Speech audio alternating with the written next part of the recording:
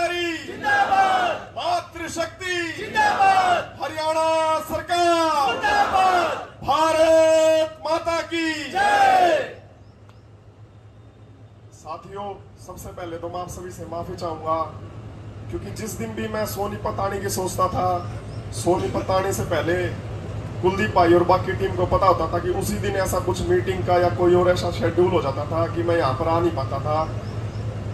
लेकिन मैं आपको विश्वास दिलाता हूँ कि अभी ये जो भाईचारा स्थापित हुआ, ये अकेले विक्रांत के कारण या किसी के कारण नहीं हुआ।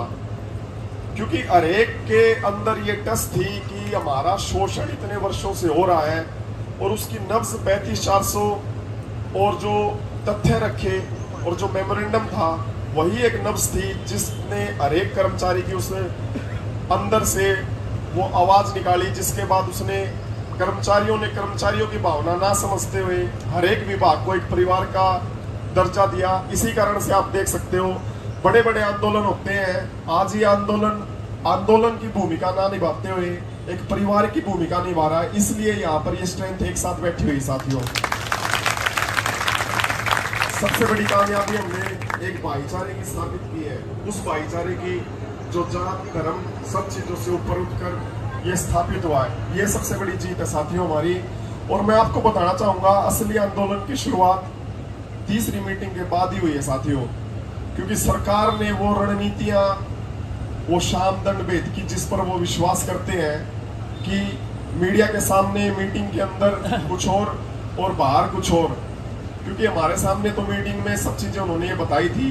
क्योंकि पहली मीटिंग के अंदर जैसे पता है कि वो आकलन कर रहे थे कि क्या चीज़ है कि इनसे हमारा सामना हो रहा है।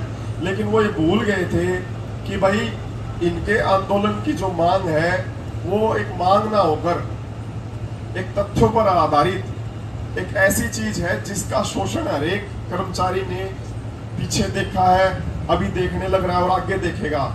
इसलिए वो उन्होंने भूल कर दी कि राजेश भूल कर दी ओएसडी मोदी ने कि मैं इनके सामने स्वादपूर्ण वातावरण, कोई दंडात्मक कार्रवाई नहीं होगी, कोई अनुशासनात्मक कार्रवाई नहीं होगी। इस प्रकार से कर्मचारियों को, हमको सभी को भरोसा देते रहे।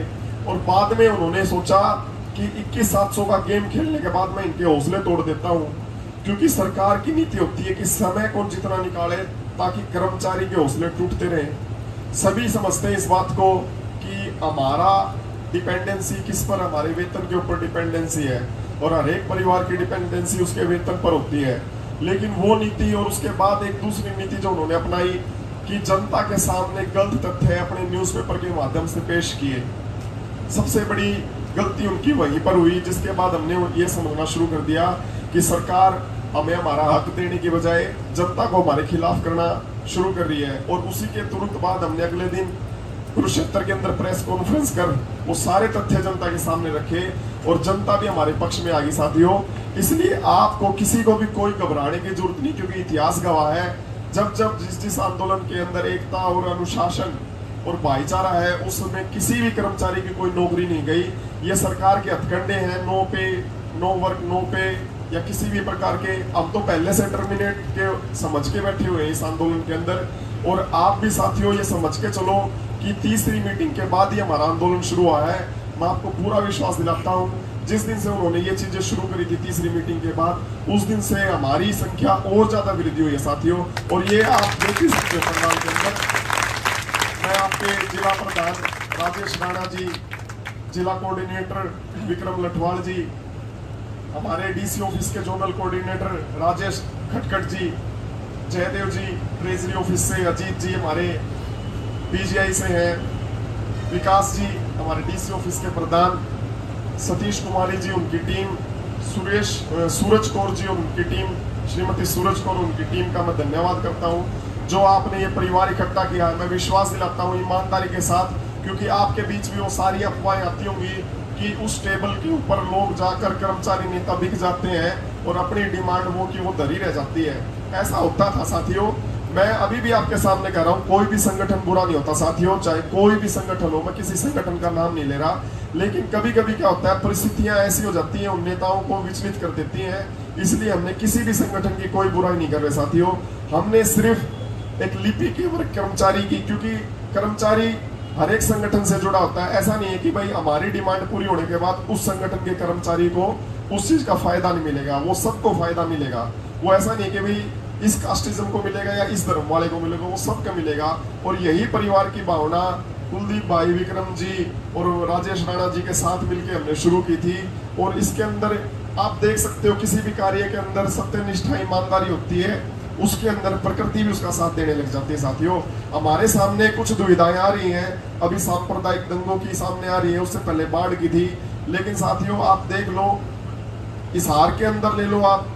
करनाल के अंदर, किसी भी डिस्ट्रिक्ट के अंदर ले लो, हमारी स्ट्रेंथ वो की वो बनी हुई है, साथियों, और ये हमारी जीत का पहला कदम है। मेरा विश्वास है कि हम लगभग लगभग ये सोच लो, नब्बे प्रतिशत काम पर पूरा कर चुके हैं। अगली मीटिंग में पूरा काम पूरा करेंगे। और रही बात हमारी डिमांड की। जब उन्होंने इक्कीस सात सौ हमसे कहा था, हमने उसी समय टेबल छोड़ दी थी, और काफ़ी ऐसी चीज़ें हमने टेबल पर उनको कही। वो चीज़ें माइक पे शोभा नहीं देता, लेकिन मैं आपको ये निश्चित करके बताना चाहता हूँ कि अब की बार तो पानी भी हम अपने घर से लेके जाएँगे साथियों। और इस भाईचारे को आप सभी साथी बनाए रखें, इसी प्रकार से बनाए रखें, क्योंकि मैं ऐसे कोई शब्द नहीं कहूँगा जिससे आपके रोंगटे खड़े हो जाए और आप वो चीज़ करते हैं। सबसे बड़ी मजबूती हमारी यही है कि इस पंडाल के अंदर हम बैठे हुए हैं। इस पंडाल के अंदर जब तक अनुशासन, एकता के साथ बैठे रहेंगे ना सरकार ऐसा कोई मौका ढूंढ पाएगी कि भाई ने किस प्रकार से हम खदेड़ दें, इन पर कोई आरोप लगा दें। ये ये अपनी नीतियाँ अपनाएँगे 140 की 144 धारा की, बाकी चीज़ें। लेकिन मैंने सरकार को मीडिया के माध्यम से भी ये कहा था, ये आंदोलन नहीं है। मैंने ओएसडी मोदी को भी पर्सनल कहा था, मैं जी आंदोलन नहीं है। ये भावना बन चुकी है। आप इस पे किसी भी प्रकार की राजनीति करने की कोशिश मत करना, वरना ये सारी चीज़ें उल्टी पड़ जाएँगी। वहाँ से वो विश्वासघात शुरू हो गया था हमारे साथ। लेकिन मैं अभी फिर भी कह रहा हूँ कि ये आंदोलन एक अपनी जायज़ मांग के लिए लड़ रहा है। जब आप ये कह रहे हो कि भी ये डायरी डिस्पेच रिकॉर्ड कीपर है तो और आप हमारे आरसी के और जितने भी आपने पासवर्ड वगैरह चेंज कर दिए तो ऐसी क्या नो बताई कि क्लास वन ऑफिसर को वो काम करना पड़ रहा है? क्या ये जनता के सामने तथ्य सामने नहीं आ रहे कि तहसीलदार को क्लर्क का काम करना पड़ रहा है? क्या जनता को महसूस नहीं हो रहा कि भाई तहसीलदार को ही वो काम क्यों करना पड़ रहा है जो क्लर्क करता है? आज जनता के सामने सच्चाई अपने आप आने लग रही है साथियों। एक डायरी डिस्पैच रिकॉर्ड कीपर कोई तीन हज़ार करोड़ का नुकसान नहीं करवा सकता। ये जो रख रहे हैं, तथ्य सामने के इतने करोड़ का नुकसान हो गया, ये चीज़ें होगी।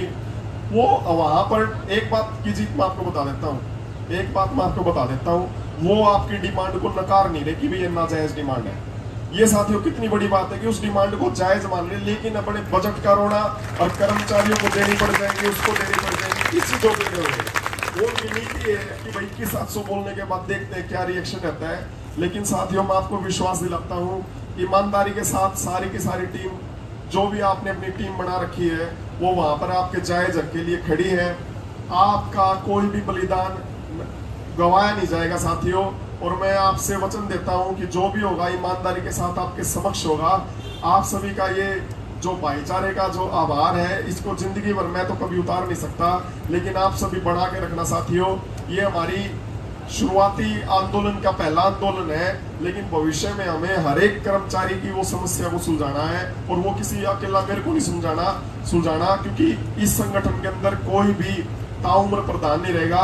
उस पंक्ति में आखिरी बैठा व्यक्ति भी प्रधान है और सबसे आगे बैठा व्यक्ति भी प्रधान है साथियों। भारत माता की जय!